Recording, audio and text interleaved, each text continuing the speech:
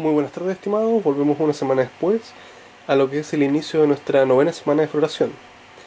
Pongan ojo sí que cuando los bancos de semilla dicen que por ejemplo unas plantas van a estar listas en 8 semanas de floración, esas 8 semanas son consideradas en condiciones óptimas, ¿ya?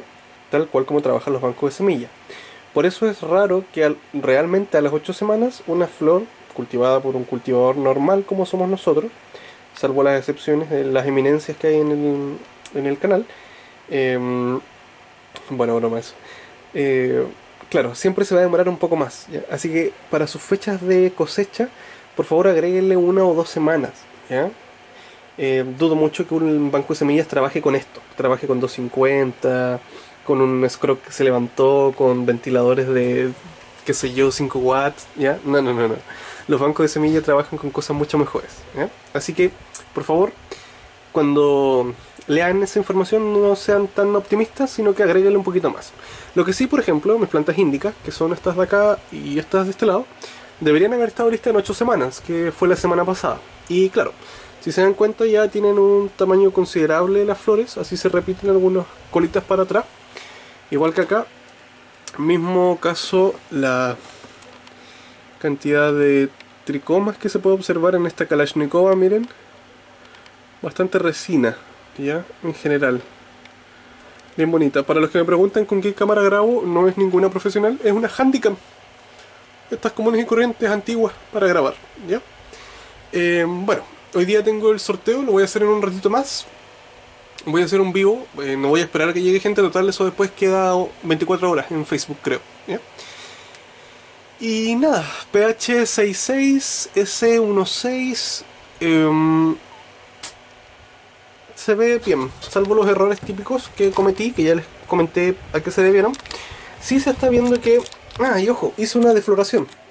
Lo que me comentaron los chicos acá es que la defloración es sacar toda la hoja del excedente que impide que los rayos de la luz se metan a las otras flores.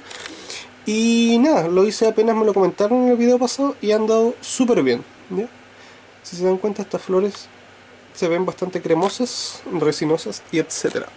Las que se han demorado un poco más son estas Jack Hill, porque tienen claras tendencias eh, sativas. Por ende se, se estiró mucho más que las índicas. Si se dan cuenta, las índicas se estancaron aquí, lo cual era una altura normal. Mira las sativas, creció un tanto más. Y esa de allá se está quemando, supongo, ahí con tanto calor. ¿Ya? A esta altura las hojas se empiezan a, a marchitar, se empiezan a caer, se empiezan a volver amarillas como esas. Es completamente normal. ¿ah? Si se dan cuenta, miren esas puntas, están quedando un poquito blancas. Normal, ya está casi al final del proceso. Yo creo a ojo de pájaro, a vuelo de pájaro, perdón, que me queda una semanita para las índicas. Obviamente voy a cortar primero estas, ¿ya? Y estas, una vez que haga lavado raíces, ya voy a ver cómo lo voy a hacer. Y las sativas van a tener que quedarse un rato más, ¿ya? Para y quede una, maduración buena. Y recuerden revisar con microscopio de bolsillo.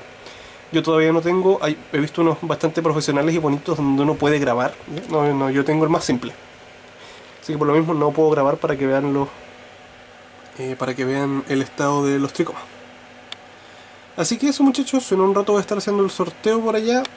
Em, cualquier duda o consulta por el canal he estado respondiendo un poco más. En Facebook me meto una vez a responder una vez a la semana y en YouTube respondo un poquito más.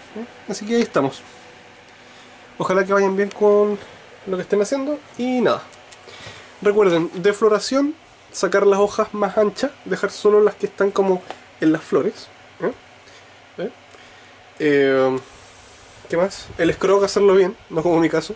Lo que sí, las mallas súper buenas de los chicos de Cano de Cultivo. Ya le voy a hacer honor más adelante con cuando cultive un solo tipo de variedad. Recuerden que acá tengo cuatro variedades distintas, eh, más índicas, más sativas, un poquito más, más complejo al lote, pero me gusta la variedad. Y bueno, en cuanto a tamaño estamos súper bien. Eso, chao.